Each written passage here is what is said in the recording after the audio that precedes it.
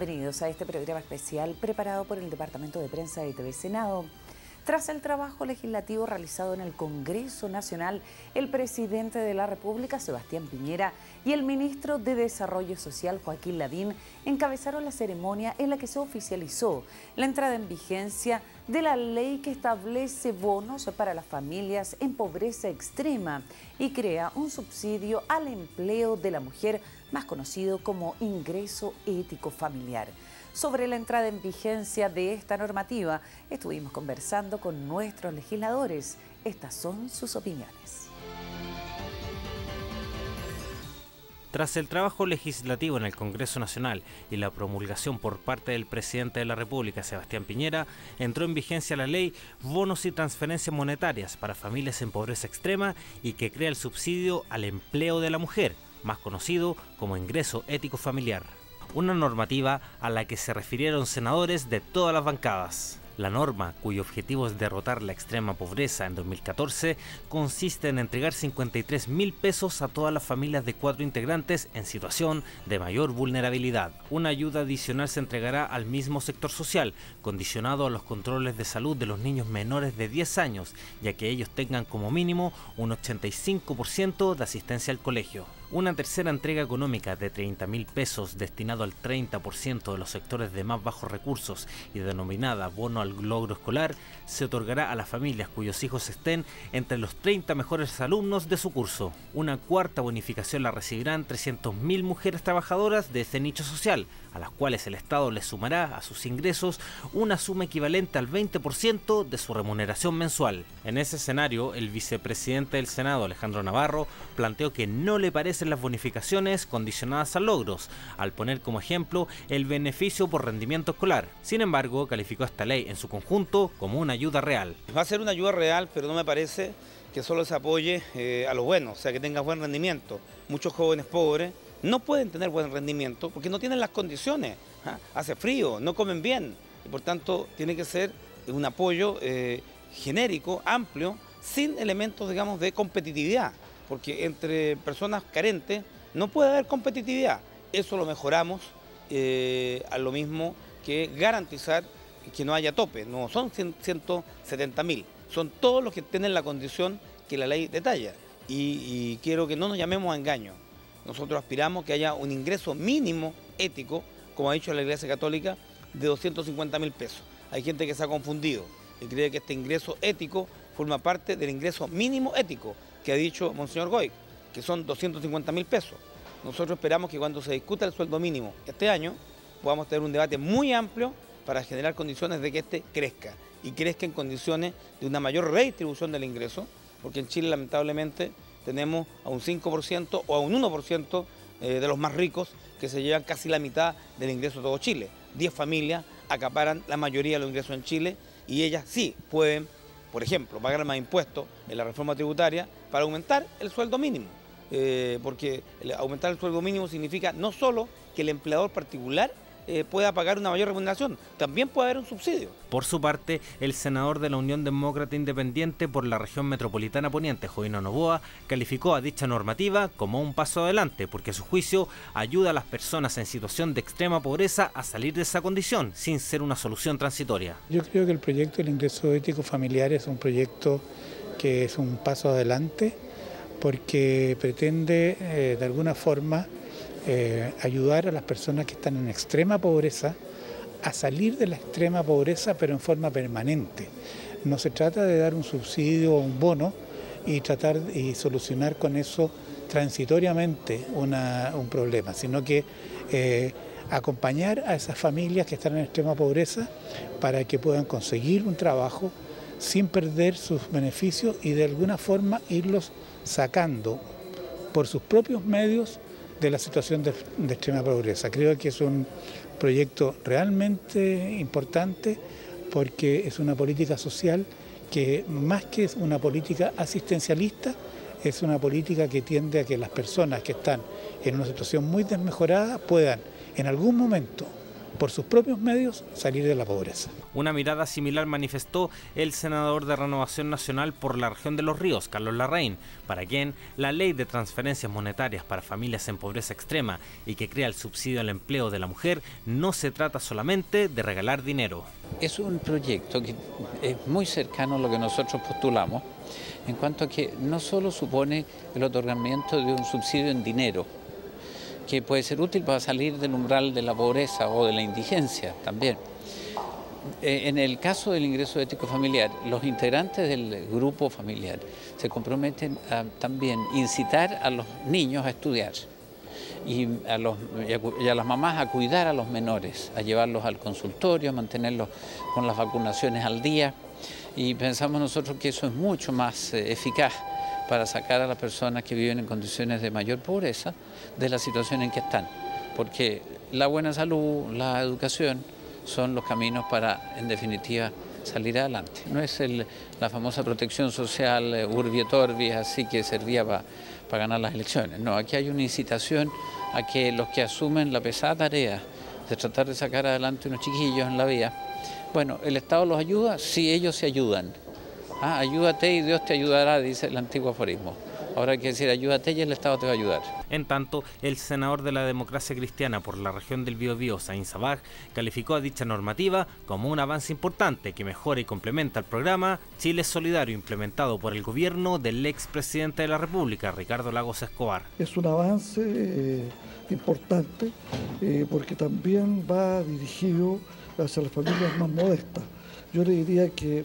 eh, por eso que hubo un grado de disputa con respecto al título, porque esto no es un ingreso ético familiar, sino que nosotros ahora le colocamos el título que mejora los ingresos, se subsidia a las familias más vulnerables y se da un subsidio también eh, del 20% eh, para la mujer trabajadora, para la mujer que va a trabajar por primera vez. Entonces, y significa, y lo hablábamos también, de que era eh, una, mejora del Chile Solidario 1 o Chile Solidario 2,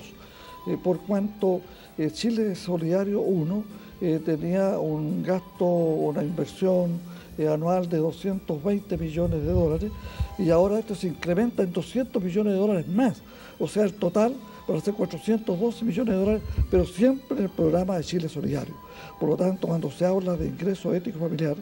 eh, a la gente le queda en la retina hablando de 250 mil pesos mensuales y que eso no lo es. Eso fue lo que propuso eh, el obispo Alejandro Goy, eh, que por supuesto todos quisiéramos llegar a eso, pero estamos justamente esperando que nuestro país siga creciendo para llegar prontamente a un ingreso ético de esa magnitud que esperamos sea muy pronto. Pero en todo caso todos estos recursos van, yo diría, a la vena de los sectores más pobres de nuestro país. Para la senadora de la Unión Demócrata Independiente por la región metropolitana oriente, Ena von Baer, esta ley premia el esfuerzo y a las mujeres en situación de pobreza extrema, por lo cual la calificó como una buena noticia para nuestro país. Yo creo que es una muy buena noticia para las familias chilenas, para aquellas familias que están en situación de pobreza, el que tengamos ya listo el ingreso ético familiar que se comience a pagar este año, pero sobre todo yo quiero llamar la atención sobre la forma que tiene esta política, porque está diseñada de tal manera que las familias que se esfuerzan, las mujeres, y está especialmente centrado en mujeres, las mujeres que acceden a trabajo, las mujeres que se preocupan porque sus hijos tengan los controles de salud al día, las mujeres que se preocupan porque los niños tengan buen rendimiento en el colegio, esas mujeres, esas familias van a ser favorecidas con, con bonos adicionales. Por lo tanto, acá estamos poniendo en el centro de nuestra preocupación a las mujeres, a las familias y también al esfuerzo que las familias pueden hacer. Yo creo que es una muy buena noticia de un nuevo enfoque de la política social que se está llevando adelante en Chile. Es un enfoque que no solamente es asistencialista, o sea, uno no recibe, la, eh, uno recibe una base eh, por estar en situación de pobreza, pero los bonos adicionales son por el esfuerzo que hace la familia, por el esfuerzo que se hace por tener la salud de los niños al día, los controles, por el esfuerzo que se hace en el colegio y por el esfuerzo de acceder a un puesto de trabajo. Visión similar expresó el senador de Renovación Nacional por la región de la Araucanía, José García Rominot, para quien la ley de transferencias monetarias para familias en pobreza extrema y que crea el subsidio al empleo de la mujer, significa que la sociedad chilena ha tomado conciencia de que tener gente en situación de extrema vulnerabilidad no es ético ni moral. Significa que la sociedad chilena toma conciencia de que no es ético, no es moral eh, tener a 600.000 personas viviendo en situaciones de extrema pobreza. No es ético, no es moral que 170.000 familias eh, no tengan los ingresos eh, suficientes como para atender las necesidades más básicas y que se va a hacer un esfuerzo conjunto del Estado chileno a través del gobierno, de las familias que se encuentran en esa situación, de las familias que se encuentran en situación de extrema pobreza y de la sociedad en su conjunto para lograr que de aquí al año 2014 esas 600.000 personas logren salir de la situación de pobreza extrema que les afecta. Y salir no porque se les lleva un regalo, sino salir porque tienen la voluntad, tienen el entusiasmo, tienen la mística de querer dejar atrás la pobreza extrema. Y por eso es que en los subsidios monetarios que se crean a través de este ingreso ético, hay premios para la mujer que encuentra trabajo, hay premios para eh, quienes cumplen con llevar los niños al colegio y no solo llevarlos por una formalidad, sino para que aprendan, para que aprendan no solo los contenidos de los programas de enseñanza, sino que aprendan hábitos de estudio, aprendan eh, disciplina, eh, aprendan eh, formas de convivencia que los alejen de manera por siempre de las situaciones de pobreza extrema. Por su parte, el senador del Partido Socialista por las regiones de Arica y Perinacote y de Tarapacá, Fulvio Rossi, destacó que dicha ley no queda bajo discrecionalidad ni arbitrariedad de los gobiernos de turno, recordando además que se le introdujeron modificaciones durante su trámite legislativo. Ese proyecto lo, lo modificamos sustantivamente, un proyecto... No son meras transferencias monetarias, la verdad que eso sería puro asistencialismo eh, y, que solo perpetúa y profundiza la pobreza. Aquí de lo que se trata es de que efectivamente hay una política pública basada en intervenciones eh, sociolaborales, psicosociales, que permitan la integración y la inclusión de las familias de extrema pobreza, que salgan de la pobreza, eh, apoyándolas básicamente en temas como por ejemplo la educación de los hijos, el acceso a los controles de salud de los niños, todo lo que dice relación también con el subsidio al empleo, que no solo para el tema pobreza, sino que tenemos subsidio para el 40% de las mujeres, en donde la mujer va a recibir un 20% de subsidio respecto a su salario y el 10% del empleador para estimular la contratación de mujeres y que más familias salgan de la extrema pobreza, especialmente aquellas en donde la mujer es jefa de hogar. Así que, y, y se establece también recursos adicionales cuando se cumplen ciertos logros la excelencia académica de los niños, en fin, hay una serie de cosas que y logramos modificar sustantivamente el proyecto en el sentido de que estas sean garantías establecidas en la ley que si yo cumplo ciertos requisitos tengo derecho a estos beneficios, que no queda a, la arbitrariedad o a la discrecionalidad de la autoridad de turno. Para el senador de la Unión Demócrata Independiente por la región del Maule, Hernán Larraín, dicha ley trata de complementar los recursos de una persona que gana el sueldo mínimo y a su juicio los beneficios condicionados generan un compromiso con el desarrollo personal. Yo pienso que este es un debate que se arrastra desde hace bastante tiempo eh, se había discutido la necesidad de que los trabajadores, sobre todo los que pertenecen a los niveles de mayor pobreza, pudiesen tener un ingreso mínimo y que si acaso lo que recibían era insuficiente, pudiese dárseles un complemento. Esto es lo que finalmente ha hecho el gobierno del presidente Piñera al eh, enviar al Congreso un proyecto, un proyecto que fue discutido, incluso mejorado, como siempre tratamos de hacerlo en el Parlamento, para garantizar la existencia de este ingreso ético familiar que va a ayudar a las familias de extrema pobreza en nuestro país. Básicamente, eh, de lo que se trata es de dar un complemento de recursos para asegurar que una persona, por ejemplo, que tiene el sueldo mínimo y que tiene estas condiciones de pobreza, pueda tener recursos suficientes para que alcance a los 250 mil pesos de ingreso final. Y ello además ligado a un programa que une a las personas beneficiarias a compromiso, a tratar de buscar trabajo, a que sus hijos tengan buena educación, a que todos cumplan en su familia las obligaciones ante los organismos de la salud, de manera de poder ir generando un compromiso con el desarrollo personal, no solo compromisos materiales, sino que también de esta otra naturaleza. En esa línea, para el senador de Renovación Nacional por la región de los lagos, Carlos Kuchel, la ley transferencias monetarias para familias en pobreza extrema y que crea el subsidio al empleo de la mujer significa una gran herramienta solidaria en nuestro país. Significa contar con una tremenda herramienta solidaria. Es un piso solidario cada vez más alto el ingreso ético familiar lo que persigue es elevar poco a poco, con el tiempo, partiendo de una base más alta que la existente, el ingreso de las familias de menores recursos, pero con una política pública que estimula algunas conductas que consideramos apropiadas. Por ejemplo, que los niños vayan al colegio. Eh, se eduquen, después que vayan al colegio y que tengan buenos rendimientos. Según eso, eh, el apoyo económico es mayor. Después si la mamá consigue trabajo, un apoyo adicional. Ese es el criterio del ingreso ético familiar. Hay una ayuda básica, pero después hay premios por esfuerzo sobre esa ayuda básica. Por su parte, el senador del Partido por la Democracia por la región de la Araucanía, Eugenio Tuma, afirmó que dicha normativa no tiene relación con un salario ético propiamente tal, aunque la calificó como una buena medida en favor de las personas en condición de extrema pobreza. El ingreso ético familiar lo hemos entendido como la propuesta de la Iglesia, eh, concretamente del, eh, arzobispo Gois, cuando dice que no pueden eh, recibir menos de 150 mil pesos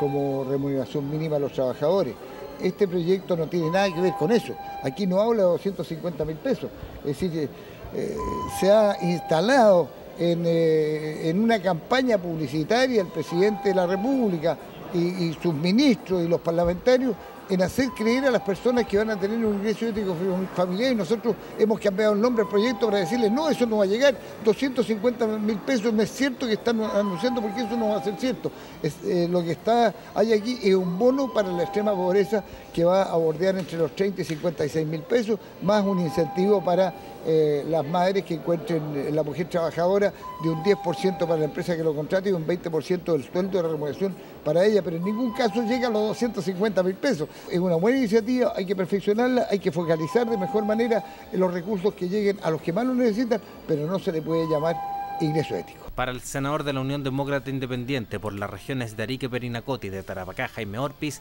el mérito de dicha normativa es que además de abordar la situación de extrema pobreza propiamente tal, también establece estímulos para que las personas salgan de esa situación. Para mí significa colocar el foco donde hay que colocarlo, que son en las familias de, extrema pobreza. Y el mérito que tiene este proyecto es que no solo eh, aborda este tema como tradicionalmente se ha abordado a través de transferencias monetarias, que entregarle una cantidad de recursos, sino que esa cantidad de recursos va aumentando en la medida en que los niños vayan al colegio, en que tengan control de niños sanos y aumenta más todavía en la medida en que sean buenos alumnos en el colegio. Y, logré incorporar un tema tremendamente relevante que está muy vinculado con las familias de extrema pobreza, que es en el, en el, en el bono por logro el incorporar a quienes se mantengan en tratamiento intensivo o residenciales de rehabilitación de droga, que es un gran drama que se está viviendo en el, mundo popular y se incorporó también en el Bono por Logro. De tal manera que yo creo que se está colocando el acento donde corresponde, en las familias de extrema pobreza, pero no solo entregándoles recursos, sino que también otorgando incentivos para que puedan salir de esa condición. Por su parte, el senador de Renovación Nacional por la región de Aysén del general Carlos Ibáñez del Campo, Antonio Horvat, al aludir a la zona que representa, planteó que esta ley implica que a las personas que trabajan los beneficios les llegarán directamente y no a través de los empleadores. Esa es una incorporación de un bono que permite sacar a las personas y ayudarlas a salir de la extrema pobreza y la indigencia, y que se hace una combinación entre la seguridad de que vayan a haber estudios, de que vaya a haber capacitación y aparte de asegurar un ingreso de manera que haya un mínimo como para cumplir con requerimientos de alimentación. Pero eso es un, bono, un ingreso de ético, que así se ha denominado. No es el salario ético mínimo. Y por otro lado, en el caso de la región de Aysén y las zonas extremas, por lo tanto, se ha logrado a través del movimiento social por Aysén que es un movimiento transversal desde el punto de vista político, el que las bonificaciones que iban originalmente dadas a los empleadores para aumentar la contratación de mano de obra sean entregadas directamente a los trabajadores. Ahora, con las organizaciones de la región de Aysén y el Ejecutivo se está prospectando una, una mejor alternativa en el sentido de que a los empleadores se les siga dando un bono, pero lo que se les daba originalmente a los empleadores para los trabajadores se le entregue directamente a los trabajadores. O sea, estaríamos ganando por partida doble. En esa instancia se encuentra la situación en este minuto. Por su parte, el senador del Partido por la Democracia por la región metropolitana poniente, Guido Girardi, planteó que con políticas como las contempladas en dicha ley no resuelve los problemas de desigualdad en nuestro país, aunque calificó la normativa como un avance. Yo pienso que es un avance, pero los problemas de desigualdad no se resuelven con políticas compensatorias, se resuelven con igualdad. Una reforma tributaria, eh, gratuidad de la educación, gratuidad de la salud. Esos son los elementos que hacen que la gente efectivamente pueda tener acceso y garantía que se cumplan. Cabe mencionar que para los efectos de esta norma se entenderá que están en situación de pobreza extrema las personas y familias cuyo ingreso per cápita mensual sea inferior al necesario por persona para satisfacer sus necesidades alimentarias. De esta manera, desde el 1 de septiembre de 2012, las familias beneficiarias podrán cobrar mencionado subsidio. Soy Jessica Soto Huerta, gracias por habernos acompañado en este programa especial preparado por el Departamento de Prensa de TV Senado, oportunidad en la que conocimos las opiniones de nuestros legisladores tras la entrada en vigencia de la ley sobre ingreso ético familiar. Siga junto a la programación que Red de Televisión del Senado ha preparado especialmente para usted.